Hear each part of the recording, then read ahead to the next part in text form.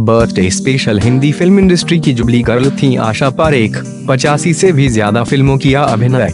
Hindi film जगत की मशहूर अभिनेत्री आशा पारेख ने कई सुपरहिट फ़िल्मों में काम किया है, लेकिन कैरियर के शुरुआती दौर में उन्हें वह दिन भी देखना पड़ता था। जब एक निर्माता, निर्देशक ने उन्हें यहाँ तक कह दिया कि उनमें स्टार अपील नहीं है।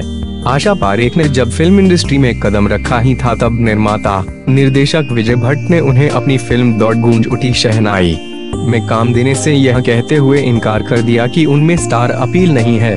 बाद में उन्होंने आशा पारेख की जगह अपनी फ़िल्म में नई अभिनेत्री अमिता को काम करने का अवसर दिया। 2 अक्टूबर 1942 को मुंबई में एक मध्यम वर्गीय गुजराती परिवार में जन्मी आशा पारेख ने अपने सिने करियर की शुरुआत बाल कलाकार के रूप में उन्नीस सौ बावन में प्रदर्शित फ़िल्म आसमान से की।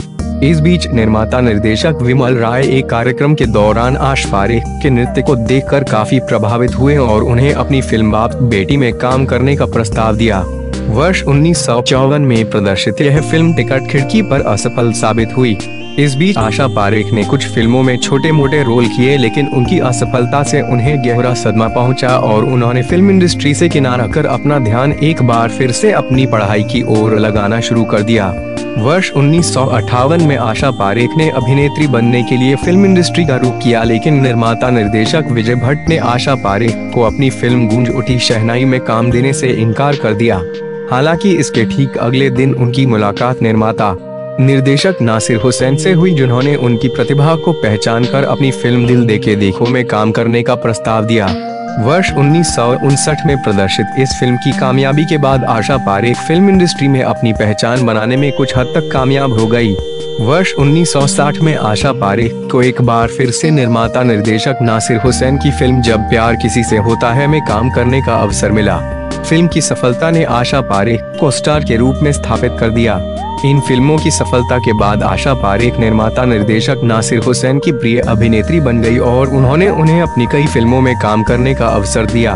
इनमें फिर वही दिल लाया हूँ। तीसरी मंजिल, बहारों के सपने, प्यार का मौसम और कारवां जैसी सुपरहिट फ़िल्में शामिल हैं। वर्ष 1966 में प्रदर्शित फ़िल्म तीसरी मंजिल आशा पारेख के सिने कैरियर की बड़ी सुपरहिट फ़िल्म साबित हुई। इस फ़िल्म के बाद आशा पारेख के कैरियर में ऐसा सुनहरा दौर भी आया जब उनकी हर फ़िल्म डॉट सिल्वर जुबली मनाने लगी।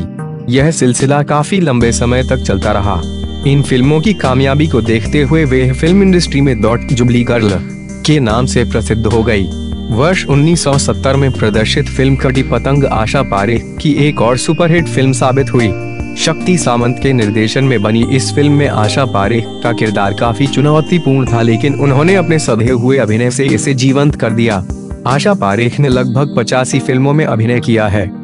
उनकी कुछ उल्लेखनीय फ़िल्में हैं। डॉट हम हिंदुस्तानी, घूंघट, घराना, भरोसा, जिद्दी, मेरे सनम, लव इन टोकियो, दो बदन, आए दिन बाहर के, उपकार, शिकार, कयादान, साजन, चिराग, आन मिलो सजना, मेरा गाँव, मेरा देश, कारवा, बिन फेरे हम तेरे, सौ दिन सास के, बुलंदी, कालिया, बंटवारा, आंदोलन आदि।